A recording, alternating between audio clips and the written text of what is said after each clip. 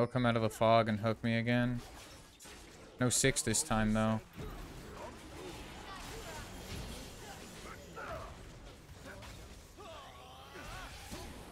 Oh my god.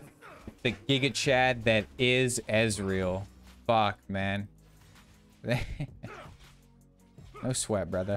No sweat, brother. That's good stuff.